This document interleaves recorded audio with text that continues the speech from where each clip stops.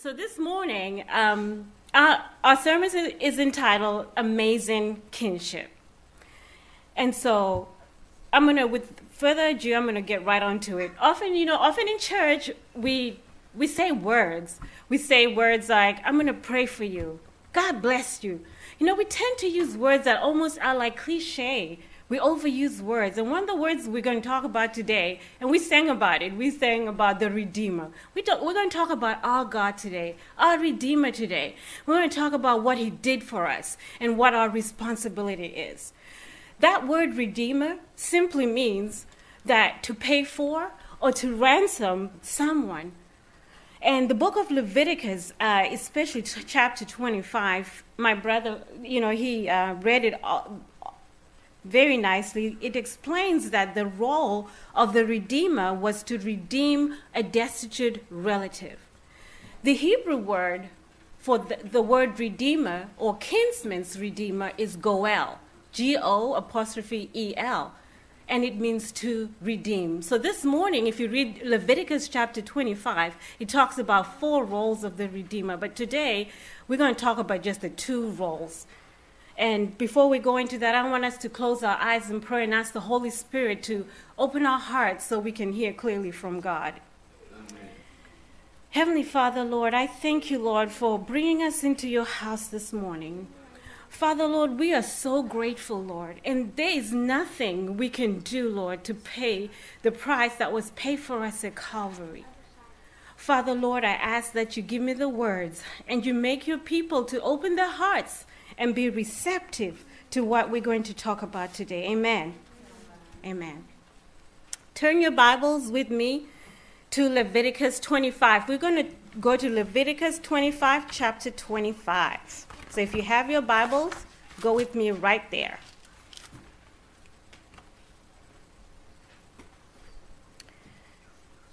And if you're there, I'm going to start reading. If it says, if, and I'm reading from the NIV, it says, if one of your fellow Israelites becomes poor and sells some of their property, their nearest relative is to come and redeem what they have sold. And after they have sold themselves, one of their relatives may redeem them. An uncle or a cousin or a blood relative in their clan may redeem them. So, from our reading, we can see that the Goel or the Redeemer had two roles. One was to redeem property that was given up by a poor relative, and the second one was to redeem a relative who had been sold to slavery. Now, I know our country has a history of slavery, and we've long forgotten about that, and God has made us to move forward. But we have a modern day slavery that we are very familiar with. You know, the Bible says that if you owe any kind of money, and I know that, and many of us know that, we have a mortgage to our home, we, you are a slave to the debt, to the, the to the lender. How many of you can say amen to that? You know, I wake up sometimes and I go to work and I know I don't want to do it, but I'm forced to do it because by taking that mortgage and it's not my house is not fully paid for, I have automatically become a slave to the to the lender. But anyway, the Bible, the first, the second rule says that a relative can redeem you, can pay your price. So, can you imagine with me that one day you hear from a long lost uncle that you know your your your house, uh, saying your house is going into foreclosure, you've slipped up on a few payments, and you get a phone call saying, "I'm going to pay off your house." You know that is amazing. That takes off that heavy load off of you. That sets you free that sets you free to do the things that you normally want, you wouldn't have time to do. And that's what our Lord and Redeemer did for us on Calvary. He set us free. He gives us peace and He gives us a certain amount of joy. Because when you're stressed, the joy of the Lord can be in you. You can't do, you're not free to do the things that you really want to do. And you're not free to do the things that God has created you to do. But before we go to our story, I want us to go to another story in the Bible, the book of Ruth. The book of Ruth captures that story of the Redeemer. It's a beautiful love story. And turn with me to Ruth 1, verse 1. That's where we're going to start. Ruth 1, chapter 1. it says, In the days when the judges ruled, there was a famine in the land. So a man from Bethlehem in Judah, together with his wife and two sons, went to live for a while in the country of Moab. Uh oh. And why am I saying uh oh? Well, the Old Testament is a long history of the Israel and the Moab country. They were enemies. They were not friendly countries. In fact, the Bible says for 18 years, the Moabites had been a thorn in the flesh of Israel. So this is not a place where an Israelite would have gone to to seek refuge. And sometimes in life, we do desperate things in desperate situations. You know, and this morning, if you've made a, if you've found yourself in a place where you intended not to be, I have good news for you. God can redeem you. And God can take our, our, our mistakes, He can take our messes and turn them into a wonderful story. Stay with me. Verse 2 says the, the man's name was Elimelech, his wife's name was Naomi, and the names of his two sons were Mahlon and Chilion. They were Ephrathites from Bethlehem, Judah. And they went to Moab and lived there. Verse 3 Now Elimelech, Naomi's husband, died, and she was left with her two sons. They married Moabite women, one named Orpah and another named Ruth. And after they lived there for about 10 years, both Mahlon and Chilion also died, and Naomi was left without her two sons. So now we find Naomi going back to the land of Israel. Back to the land of Israel, came, she went back, but not only did she go back destitute, but she went back with a pagan women, woman. You know, God brought her back and she had lost everything. She had lost everything that she went with. Can you imagine that when she left Moab? She had a husband, she had two, she had two sons, and everything was going well. But when she came back, by the time she came back, she had lost everything. You know, there's some things in our lives that we have control over. But they're control over, and I'm talking about if you're deciding to eat healthy and be healthy, we have control over that. We have control over when to get out of bed. We have control over what color we want to paint our walls. There's a lot of things that we have control over. But then there's those things that we don't have control over. You know, Naomi couldn't not control the, you know, she didn't have, she didn't know when her husband and sons were dying. She found herself in a situation that she totally had no control over. And one of these days, as Christians, we are going to find ourselves in a, in a place where we don't have control over. How many of us know that Jesus is coming? And how many of us know the Bible says he's coming very soon? It says his coming is imminent, it's very soon. But how many of us know that the Bible says he's coming as a thief in the night? Now, when the Bible, when it was written like that, it says if, if he comes as a thief in the night to you, you're lost. You see, that verse is talking to us Christians. It's not addressing the world, it's talking to us. Now, if we're not doing the things that Jesus wants us to do on a daily basis, if we're not sitting by his feet and learning from him on a day to day basis, we're going to find ourselves lost on that day.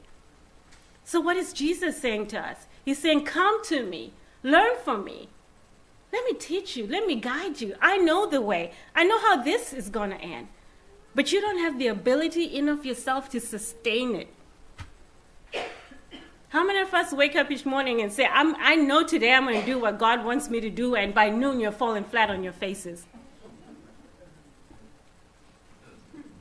Exactly. What's going to sustain us is the Holy Spirit. And God cannot give us the Holy Spirit if we're not abiding in Him. The Bible says that it, His children are the ones that are filled by the Holy Spirit, who are directed by the Holy Spirit, who walk by the Holy Spirit. So, back to the story of Ruth. So now uh, Ruth and Naomi are now back in Israel. But the problem is, Naomi is, Ruth is a pagan woman.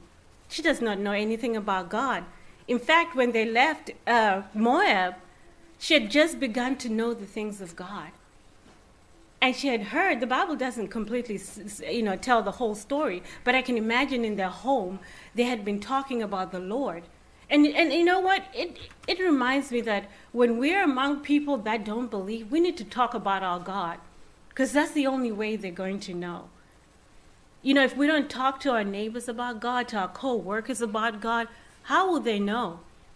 We need to talk to people about God. So I can imagine Naomi was talking to Ruth about her God because by the time they were leaving Moab, she says, My God will be your God.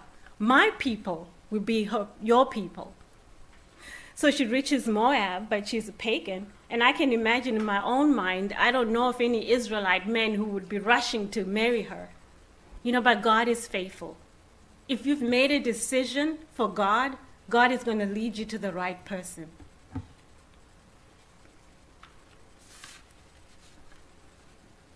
So when Ruth accepted the Lord, so when, Ruth was accepted by Boaz, and we all know the story, she met Boaz. She listened to Naomi. She met Boaz, and Boaz became her husband.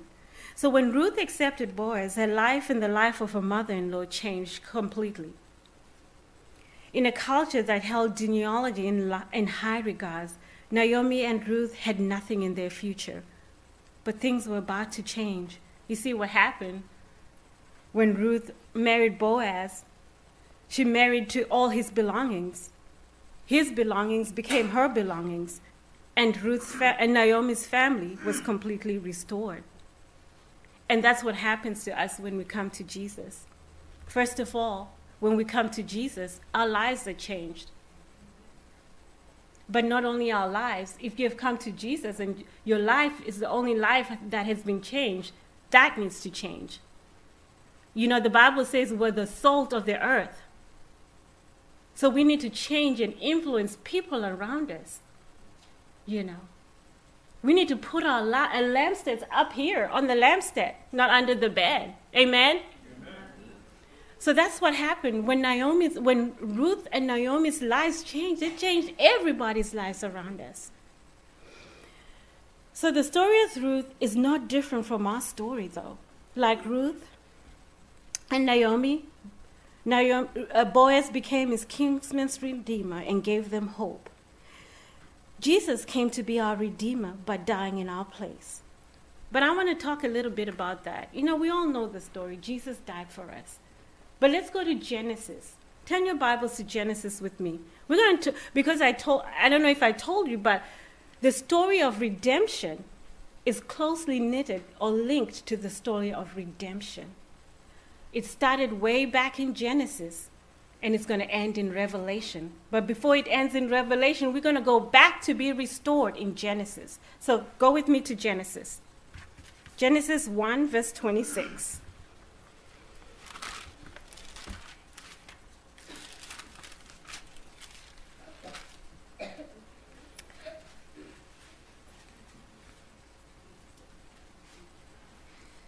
And God said, let us make man in our image, after our likeness, and let them have dominion over the fish of the sea, over the fowl of the air, and over the cattle, and over the, all and over all the earth, and every creeping thing that creepeth upon the earth. And God said, What? And God said, What? Let us make man in our image. Amen? Amen. Did he say, Let us make man in the image of angels? No. He said, Let us make man in our image. Why? Because he knew that he was going to redeem us. He was going to become our kinsman's re- redeemer. You know, back in, back in the Levitical laws, if you didn't have a closest relative, every 50 years, God put in place the year of Jubilee. Yahweh Himself will set you free. You see, once every 50 years, all debts were canceled. All property was returned to the, its original owner, and all slaves were, were set free. So, w- way back in the Garden of Eden, when He created us, Yahweh already became our Redeemer. He knew what was going to happen. So, stay with me. So, back in the Garden of Eden, we know the story that Eve succumbed to the serpent. She, she, she, she uh, listened to the devil's lies and disobeyed a direct command from God. See, what Eve didn't realize was when she listened to the lie, she enslaved the whole world. You know, we wonder sometimes why things happen the way they happen in this world. Well, we're enslaved. Hello, somebody. We're bought into sin. We're, we're in bondage. You know, but praise be to God that He has set us free. Amen? Amen? You know, so Eve probably didn't realize the extent of what she did. She had no clue. By disobeying one commandment, all humanity was derailed. And Adam, what about Adam? Well, when he agreed to eat that fruit, when he agreed to eat that fruit that his wife gave him, guess what happened? He, he handed over ownership of earth. The title deeds of earth were, were handed over to Satan. And it says so right here in the Bible, and you don't have to turn there. It says in John 14 30, Jesus said that the prince of this world cometh, and he hath nothing on me. Folks, Satan is alive and well. He's roaming the earth. He is the prince of this world until Jesus comes and crushes his head forever.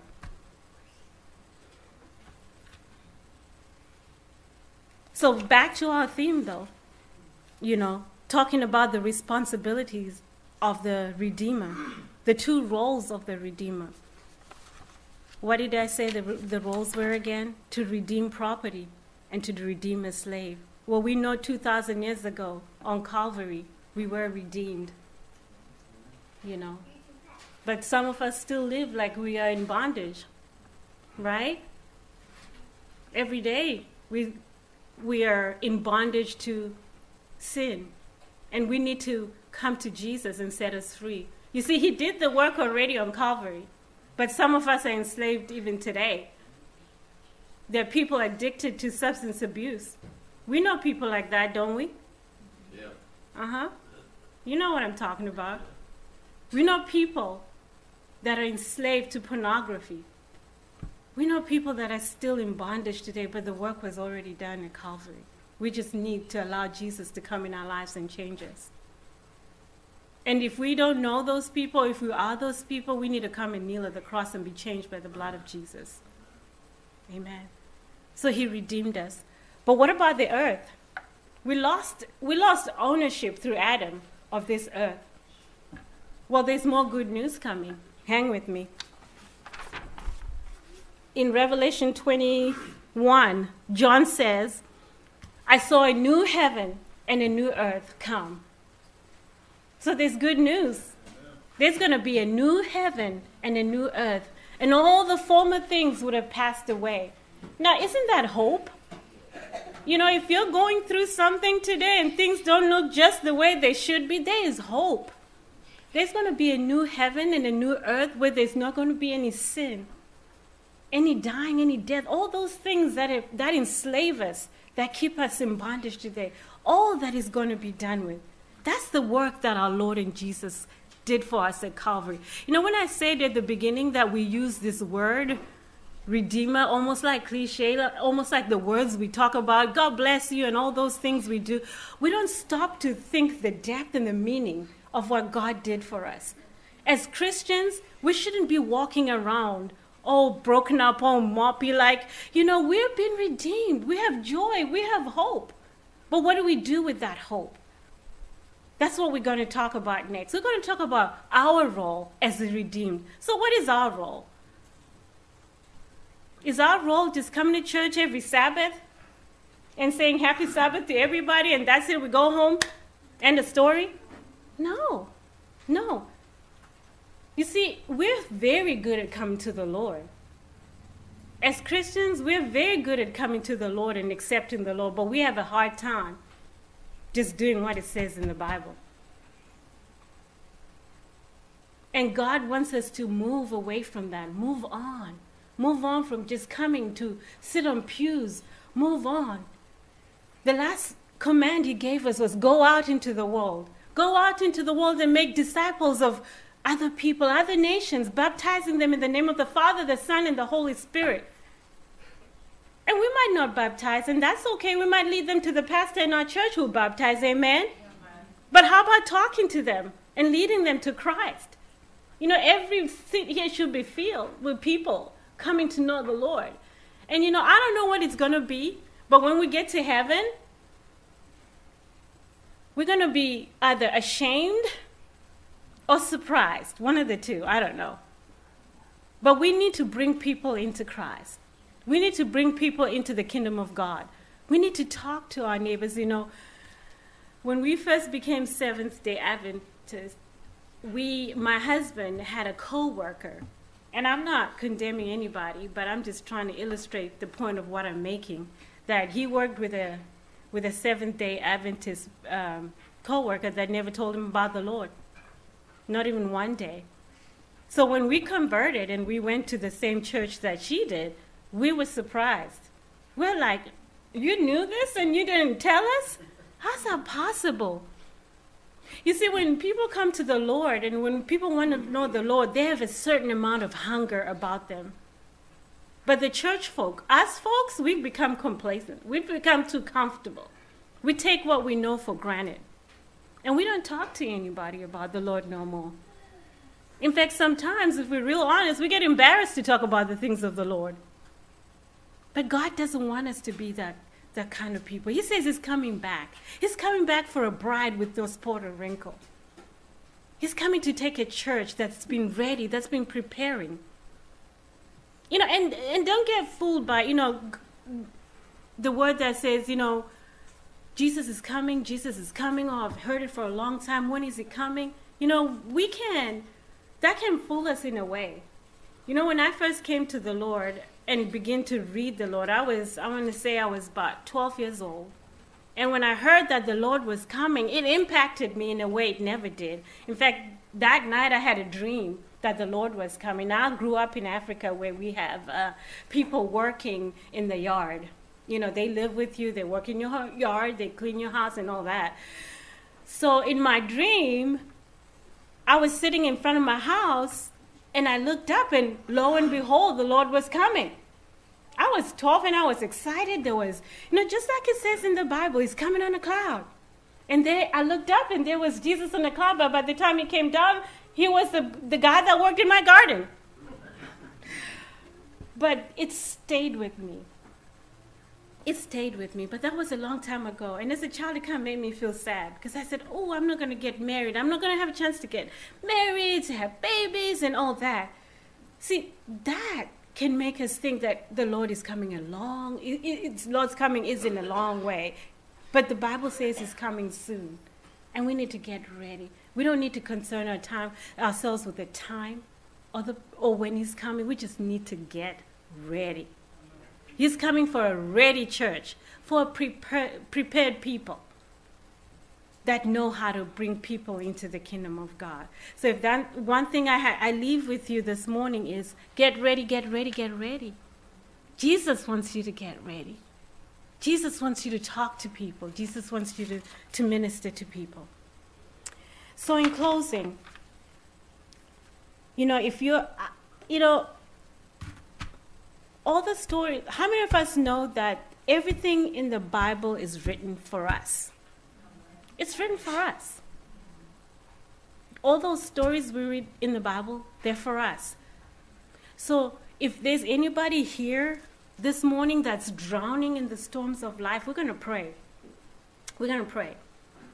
Or if you know the Lord and you just haven't been doing what the Lord is, has been asking you to do, we're going to pray too that as you leave today, leave, you know, leave knowing that God wants you to do something, that you've been redeemed at a costly price. If you read the book of Revelation, it says that when Jesus comes back, he's going to come with his robe dipped in blood.